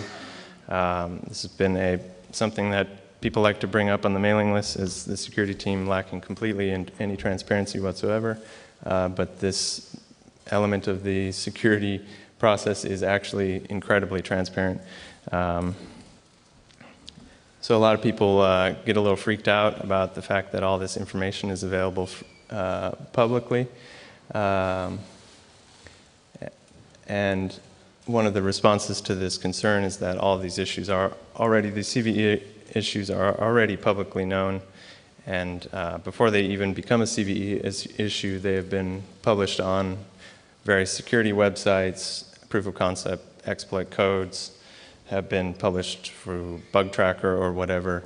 And uh, there's only a very small amount, maybe only about 1%, that are vendor sec or embargoed issues uh, that aren't actually in the tracker itself. Um, so all this information already exists. Uh, so it's not particularly uh, surprising that it's, we're also making it available. Um, and one other thing is that if everybody on the internet already knows, then Debian uh, sure is better know in order to deal with this problem. Um, because it takes a while for this issue to percolate down to the actual maintainer to fix the issue and get the fix into the archive and then the users to actually install that fix. So once these issues have been publicly acknowledged and put into a CVE, into the CVE database, it takes a while before you're actually going to get a fix into your system. So uh, the sooner that uh, we know about things that the internet already knows about, the sooner that these can be fixed in the archive and on your system. Uh, and the probably the most important thing here is this transparency. About transparency is that this is really something that users and developers expect in Debian, and what is really deserved as a project as a whole. Um, and it really improves the perception of the project to be as transparent as possible. Um, so there's some things that we're planning on doing. Uh, we talked about a little bit earlier. Um, maybe one of these things we'll do is add some of this tracker security information to the package tracking system, the PTS, so that when you go to look at a package, you can see the security history of the, the package. Uh, the data in the, um, the tracker can always use integrity uh, checks and improvement. Um, and this debsecan software um, still is quite noisy, as I mentioned. So it, this could be improved so it's more useful to administrators of systems. Um, so how can you help? Well, this is actually, the tracking security issues is kind of a, uh, a unique scenario in Debian where it's very easy to contribute in very minute ways. Um, and it's open uh, on Alioth for people to join and participate. You don't actually have to be a Debian developer to participate in this aspect of the security work in Debian. Um, so it's, and you know, processing individual CVEs can take anywhere from two seconds to determining that, that it's a Safari issue or a Microsoft issue, or much longer uh, digging into that. So you can really spend very little amount of time, but have quite large impact on Debian itself. Uh, so we encourage people to join us, um, either in verifying your package's security data in the tracker, um, or other information in the tracker. There's a list of to-do items in the tracker. If you're interested in participating, you can look through this and start sending us information or sign, ask us to add you to the Alioth pro project um, and start tracking this information in more detail. We're here uh, and we're interested in showing people how to do this in more detail. And there's some documentation as well in this version repository on more detail on how to do this properly. And so if people are interested, we would like to show you more how to do this and get you involved. You don't have to do this every day if you don't want to. You can, you know, if 10 people do one, one CVE every week, that's significantly more than what we're doing already. Um, and of course, fixing your security bugs, um, responding to the security bugs that we file, um, making sure that you include CVE numbers that we include in these bug reports in your change logs so we can watch these because uh, we watch the changes reports um, on the mailing list and update the tracker with the information of the, the fixed version that's in the repository. So knowing which version uh, of the package is fixed, we need to know that. And also working with upstream to isolate affected versions. It's not always very easy and very obvious, so if, if you know this already because you have a relationship with upstream, uh, letting us know will help us a lot. So that's kind of the end of how we're tracking things. I kind of blew through that really fast because I thought we might leave a little bit of time open for questions. We have uh, 15 minutes? Yeah. So Abba's got a question back there. Yeah, well, actually, I've, um, at the very beginning, Moritz said that a lot of packages where basically are unable to provide security support because the team is not helpful, upstream is difficult. Um, but if that's the case, uh, it's already according to our current standards an RC bug. So I would really encourage you to file such bugs so that we can identify such packages and prevent them from going to the next stable version of Debian. Um, I sometimes tried that. Um, this hasn't been very successful in many cases. So um, uh, yeah. I, I can try that again, but um, often, often, often um, the the short wish to have that package in the archive is um, for the maintainer more important than the general archive maintainability at all. I think it's uh, actually limited to 10 to 20 packages, which are always the same candidates. Um, well, if, if, there could be some help from the release team, uh, of course, uh, that's helping you there. Yeah, I was planning to raise that during that um, how are 50k packages supportable um, BOF. So I think it's a bit disrelated to the current talk.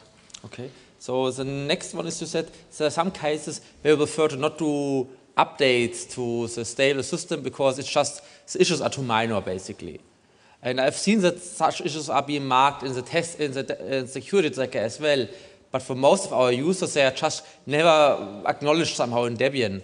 So how about perhaps sending out some well, we are not going to fix these bugs because they are too minor or something like that.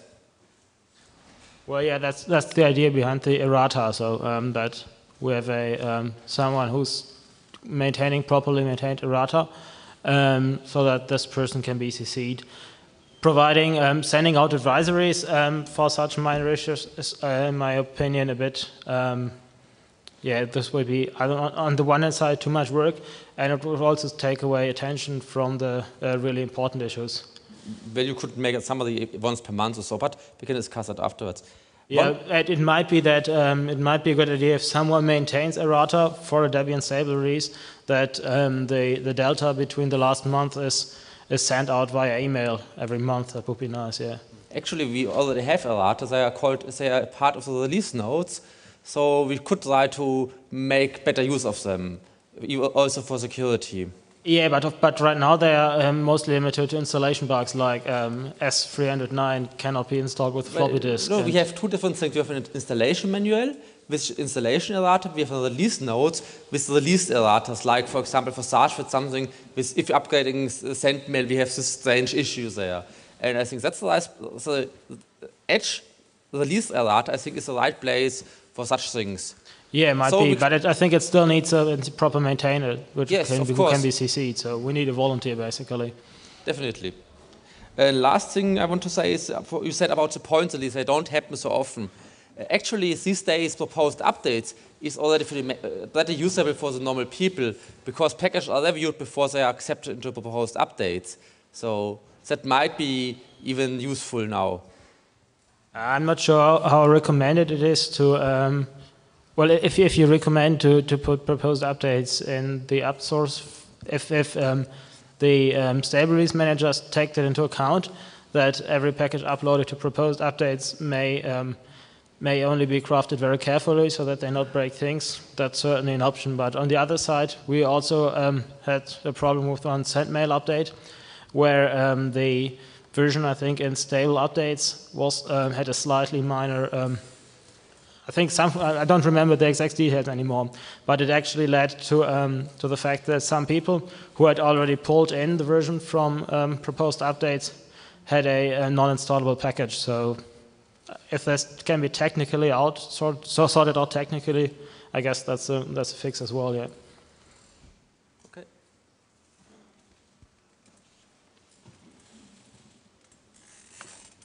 Questions? Uh, you mentioned briefly you had some uh, collaboration with Ubuntu on, on kernel security issues. I wonder if you'd had any uh, collaborations with uh, other distributions because uh, a lot of the triage has got to be duplicated efforts, albeit that most distributions have far fewer packages than Debian. Well, mo most of this is um, handled through VendorSec um, because all the major security teams are present there. Um, especially with um, regard to the kernel, because um, the kernel does not have um, a regular security management upstream. They have a security at kernel or contact list, but for example, they do not provide advisories to um, developers. So um, VendorSec is actually the place where um, most of these kernel issues are analyzed and patches are discussed, and the status of patches is shared. So that actually takes place on VendorSec. Some of the tracker information we it would be nice to collaborate with other vendors, um, especially in trying to isolate uh, affected versions, because a lot of this stuff is very opaque.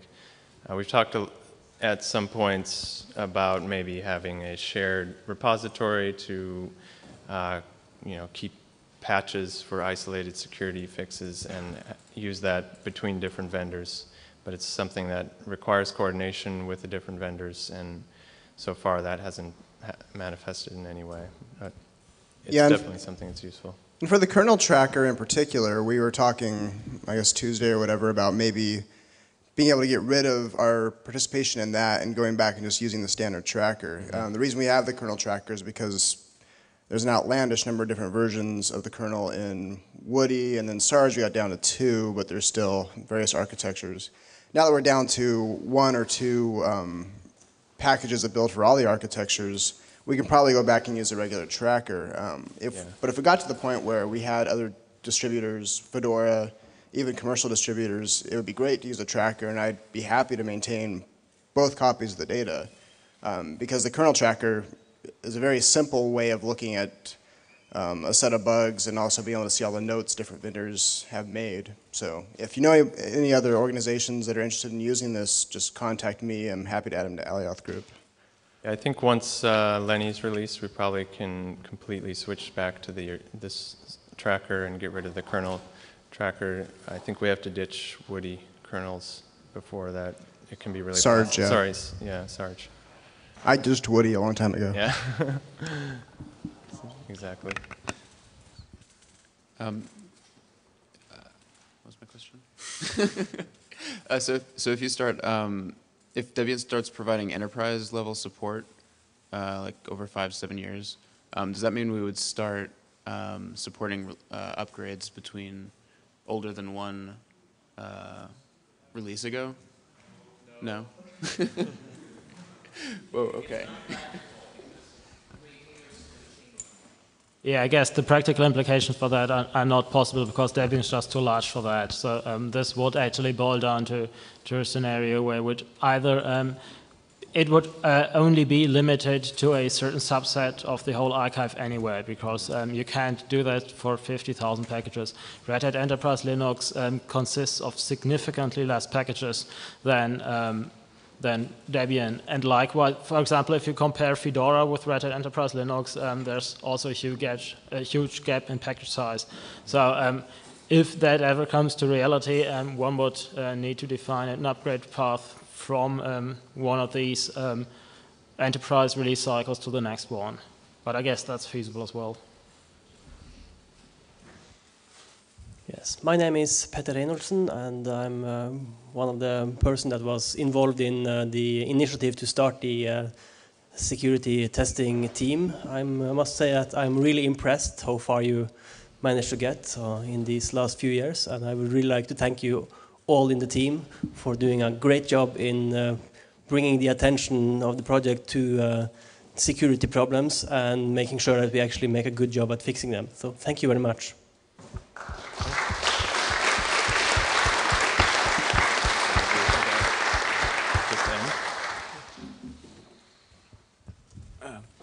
You're mostly reacting on existing uh, reports, security reports. Do you also have tools to proactively search for holes in, in the source code?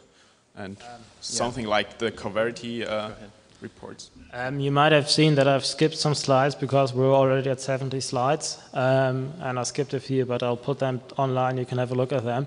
Um, there, there is. I actually wrote my thesis about static source code vulnerability analysis. Um, from that, I can tell you that most tools suck. There are a few com commercial ones which are quite successful. Coverity Prescan has um, has a public setup which scans, I think, a couple hundred um, public um, important important um, uh, free software projects. But um, one, one needs also to say that um, from all these scans, I think only a couple really severe security problems were found. Um, these tools mostly find correctness bugs, or they find uh, rather ancient security classes, which are not really um, not really relevant anymore. Like you, it's pretty easy to detect format string vulnerabilities, but none of these tools addresses integer overflows right now, and um, they only um, they are only able to detect a very small subset of relevant buffer overflows. So, um, for example, they found a local um, root exploit in X11, which, um, due to a typo, a wrong um, a wrong function was called, so it was ended.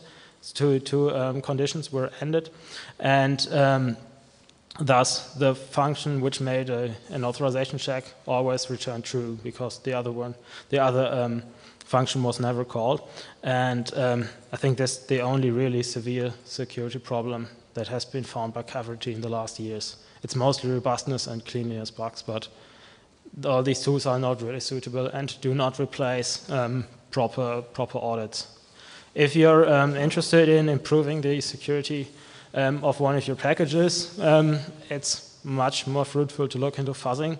So especially if you're a maintainer of some application which passes data, um, you could look into writing your own fuzzer for your media format. Or um, if it's a common media format, there might already be a fuzzer available.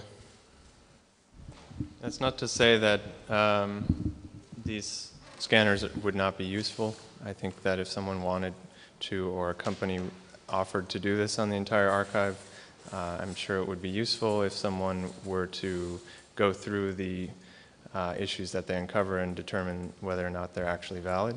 Uh, I think there would be quite a number of false positives involved. Um, and there is this Debian audit team that exists that uh, might be more appropriate for that sort of work.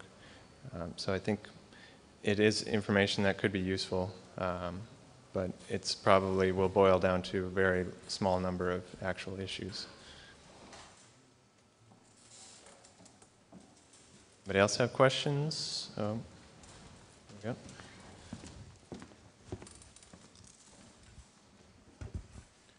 Um, so how many people right now are in the testing security team, in the stable security team? Uh, what would be the ideal number of people in these teams and why not merge them? Yeah, um, in the testing security team, there's maybe, well, you can see if you go to the Alioth page, there's probably 20 people listed, uh, although maybe only four or five people are actually active um, tracking bugs. Uh, Florian Weimer, Stefan, uh, myself, Moritz, and um, Sean is doing some stuff. And, and, there are a few people that uh, come and go at various times. Um, but uh, Moritz had a slide with the number of people that were in the stable security team. I think there was five or six. Depends on what yeah, it depends, I guess, on, on Mike. Um, and there have been discussions about uh, merging the two into just having a security team. Um, although it makes sense to focus on stable or testing because each one is quite a lot of work in and of itself. Uh, so that is definitely something that has been discussed and determining how to do that in ways that make sense is kind of difficult, uh, specifically with relation to the embargoed uh, vendor sec issues, um, and whether or not everybody should have access to that information is kind of uh, disputed. Specifically, like uh, if you're not a Debian developer and you can be added to the tracker uh, Alioth project, then it, it starts to get a little questionable whether or not you should be having some of this information or whether or not it's allowable on the vendor sec list. But this is part of the reason why uh, AJ has made some of these changes to create the unembargoed queue uh, so that public issues or CVE known issues can be done uh, through that queue instead of through just an isolated queue that only people on the security, stable security team can uh, access. So. And it, uh, it's likely that we'll extend the stable security team by another member in the foreseeable future. Um, on the other side, um, this requires a quite serious time commitment um, and also um, a certain um, degree of experience because um, if you break X11 or Apache or other daemons during during upgrades, here, you need to be quite diligent and so in order to make this really happen, one needs to be quite careful. but I think we'll extend by one member in the foreseeable future. Because the, uh, the archive is growing all the time, so it's um, quite uh, necessary to, to cope with that. But I think we'll run out of time. There should be a last question. We can deal with it. Otherwise, we'd like to thank you for your attention. Yeah.